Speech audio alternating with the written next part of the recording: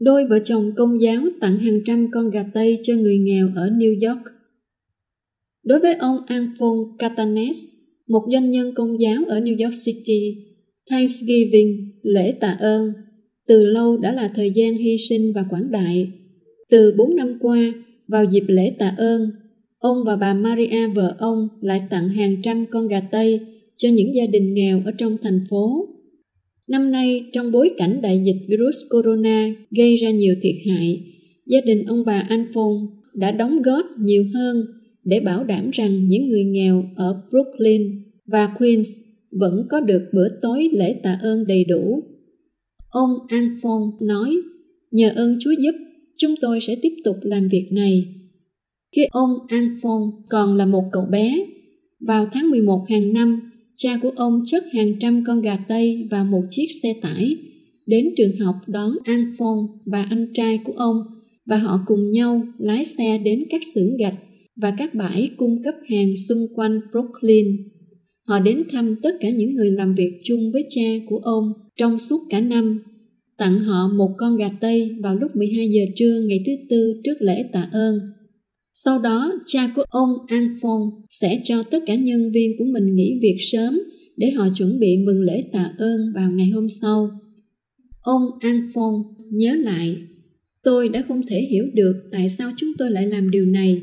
Một ngày nọ, cuối cùng chúng tôi hỏi cha tôi và ông trả lời, con phải hiểu, thật là tuyệt vời khi giúp đỡ mọi người và lễ tạ ơn là thời điểm đặc biệt trong năm. Cha của ông An Phong qua đời năm 2006. Ông An Phong và anh trai kế thừa công việc kinh doanh của gia đình. Kể từ khi nghỉ hưu, ông làm công việc quản lý và phát triển bất động sản và điều hành một công ty chuyên nâng cấp và cải tạo căn hộ. Ông kể rằng một ngày kia, vợ chồng ông đang ngồi nói chuyện với nhau và họ nhớ lại điều thường làm vào thời điểm lễ tạ ơn Họ nhớ lại họ đã hăng hái trước những con gà Tây lên xe tải, đi ra ngoài và chăm sóc mọi người. Vợ ông đề nghị tiếp tục lại truyền thống này, vì thế ông đã đến gặp tổ chức bác ái ở Brooklyn và Queens để xem mình có thể làm gì. Từ hơn 10 năm nay, tổ chức bác ái ở Brooklyn và Queens đã tổ chức chương trình tặng gà Tây và thực phẩm cho lễ tạ ơn. Mỗi người sẽ nhận được một phiếu gồm một con gà Tây và một giỏ gồm các món cho bữa ăn trong lễ tạ ơn. Năm nay tổ chức đã phân phát gần 1.600 con gà Tây và 1.200 gói thực phẩm cho các gia đình thiếu thốn. Năm 2016, ông Anfon và bà Maria vợ ông đã trở thành nhà tài trợ chính của chương trình tặng quà, quyên góp khoảng 700 con gà Tây. Từ đó họ tiếp tục công việc đóng góp đó vào dịp lễ tạ ơn hàng năm. Ông Alphonse chia sẻ, bất kỳ ai cũng có thể viết chi phiếu hoặc gửi một khoản đóng góp. Nhưng tôi phải nói với bạn, đó thực sự là một cảm giác tuyệt vời khi bạn đưa cho một người một con gà tây, người đó sẽ quay lại, nhìn bạn và họ nói cảm ơn, và bạn biết đó là một lời cảm ơn chân thành. Năm nay, bất chấp những thách thức do đại dịch virus corona gây ra, gia đình ông bà An Phong đã gia tăng quyên góp.